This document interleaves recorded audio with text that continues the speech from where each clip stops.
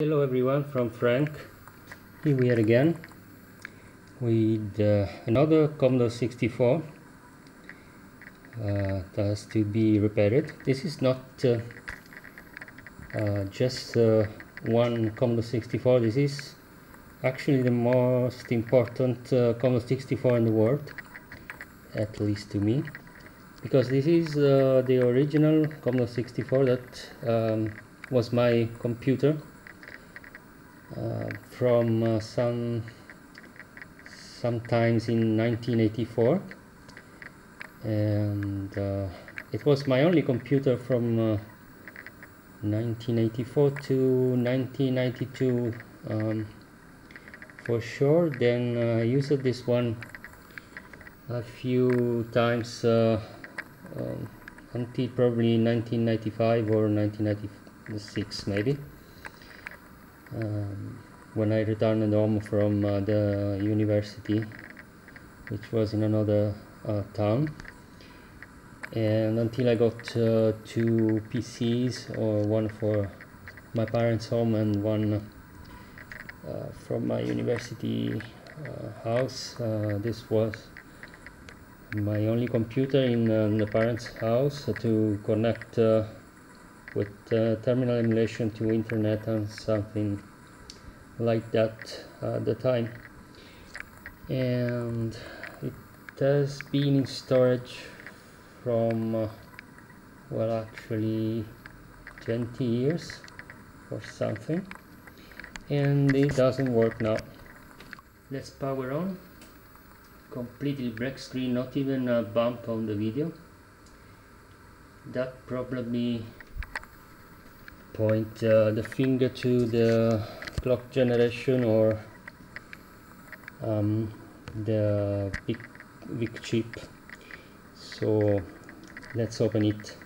This is the probably the third board revision of the Commodore 64 it's not the the one with the, the um, uh, the old clock generation circuit which had many many chips.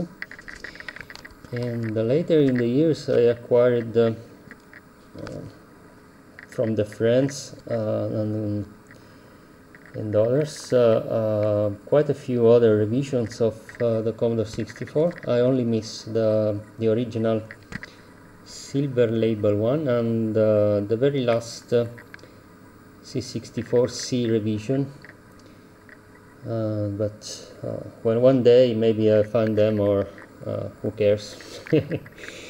Um, okay so let's power on and check on this pin the clock generation. There is nothing. Oops. Hmm, I just shorted two pins but it was dead. There's nothing on this uh, pin so I'm sure this 8701 is dead so I have a last one replacement for this one. Okay replace the, the 8701 at this point. Uh, this is a 1986 vintage chip. And let's see what happens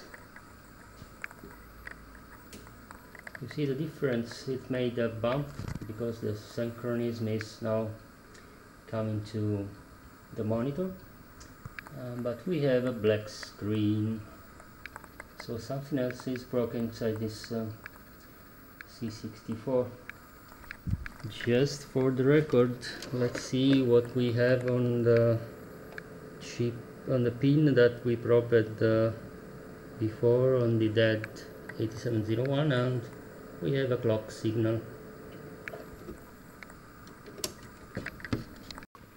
I'm also working on replacement for uh, the 8701 chip with modern uh, um, surface mount clock chips but I have to experiment uh, a little bit more to come up with a valid solution for for the for replacement of the 8701 uh, because the original is not going to be available forever.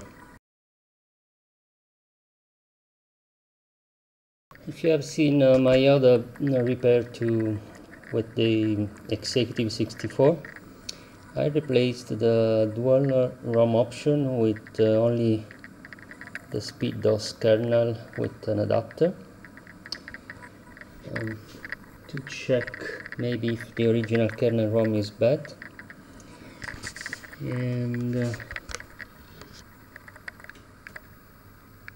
we don't have a good result. So um, I either start uh, replacing chip maybe the 65 69 or yeah I will make a try with the with the VIC chip then I'll start scoping uh, the bus, data bus and address bus looking uh, for problems because it may be not so easy like swapping a chip.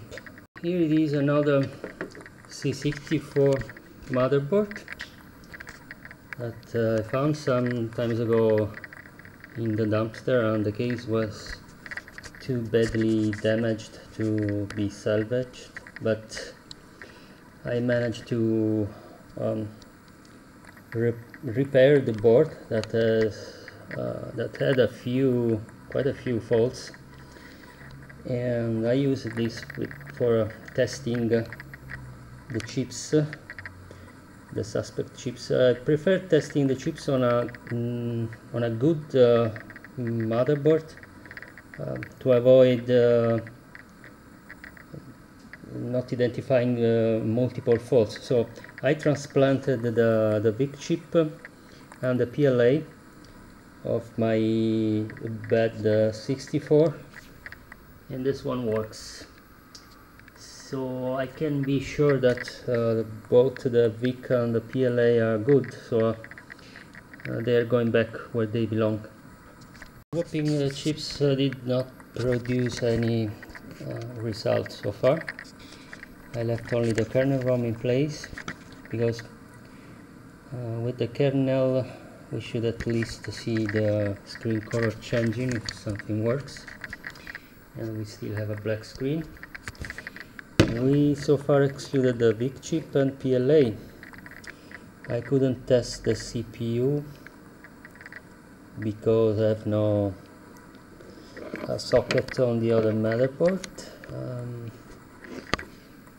I just tested uh, this chip because it was socketed also on the other motherboard and it works. This is a, a multiplexer uh, no it's a multiplexer for the address bus uh, to the RAMs and this one works okay looking around with the current probe I found uh, pin 12 of U25 to it's getting a large current or sourcing.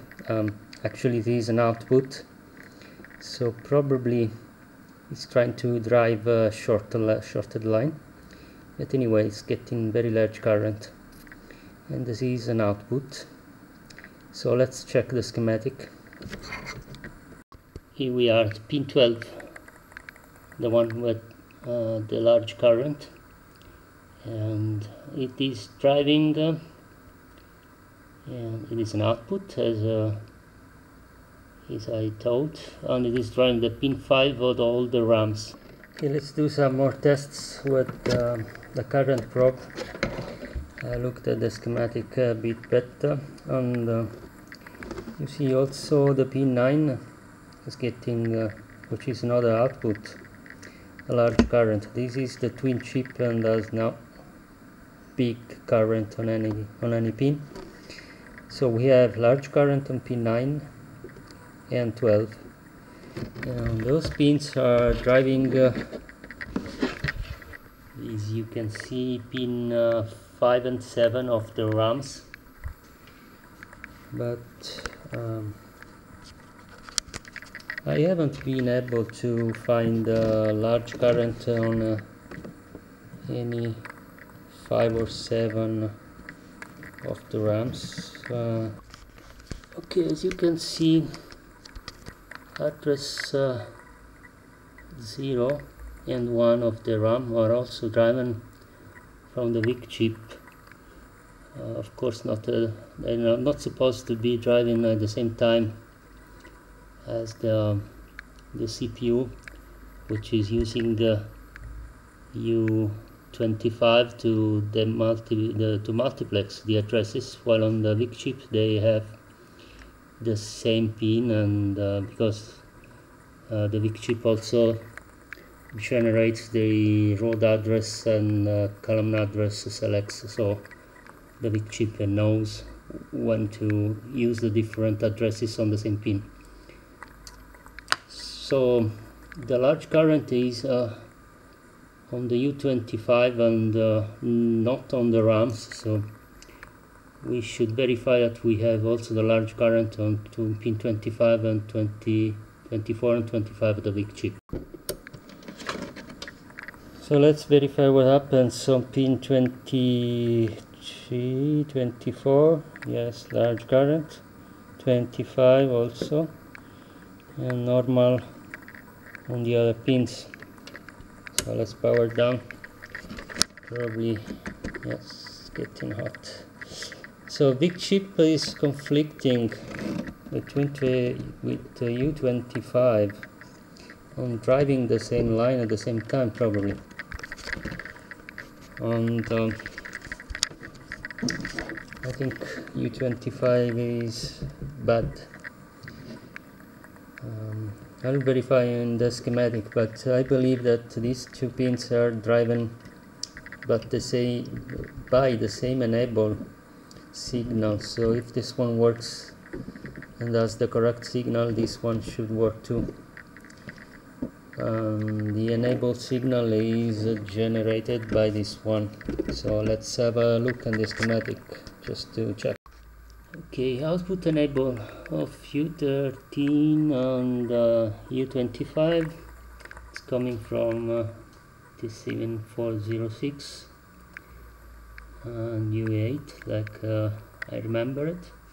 So if it works for u13 it must work also for u25 so I will remove u25 and see if my luck. So um, replace the remove the old chip in u25 position put a socket on it and um, a replacement.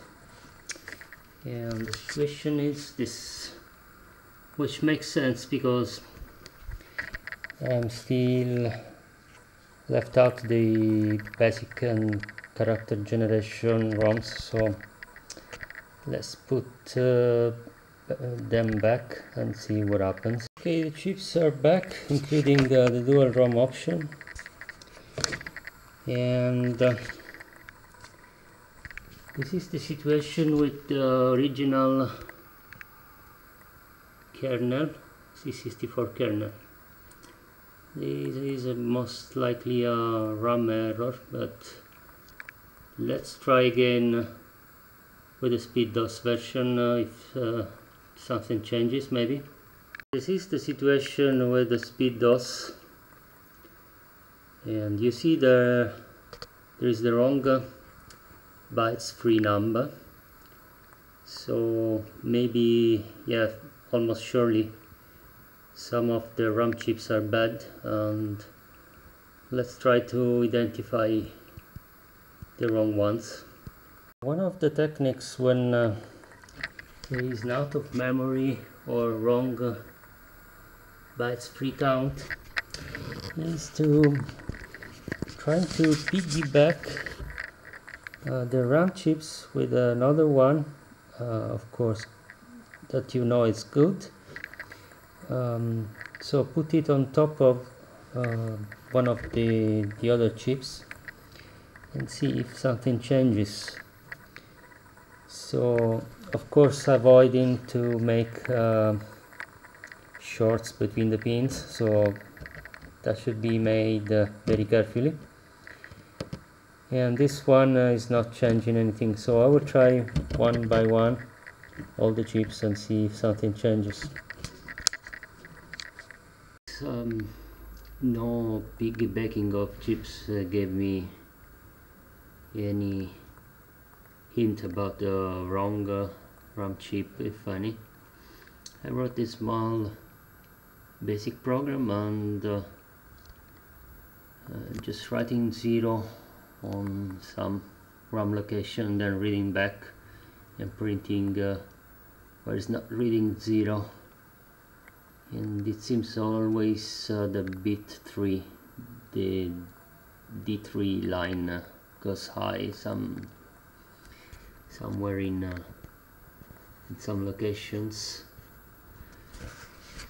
And bit 3 from the schematic uh, should be U10 this one.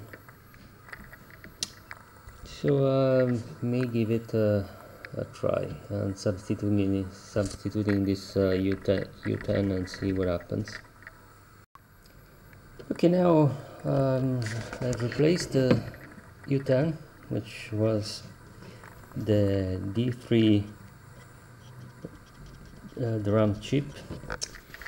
And it seems uh, it was uh, indeed the problem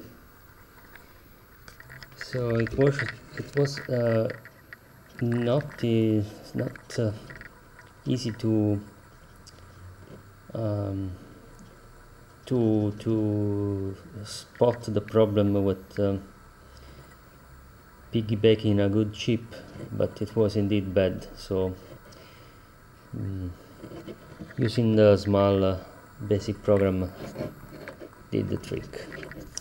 So far so good. Now I'll try to load the, the usual test program and see if everything looks good. Well it looks okay so far. And uh, the Canon will fail because I'm uh, using the speed DOS in this time in this moment. Um, but it looks okay so I think this one is uh, good again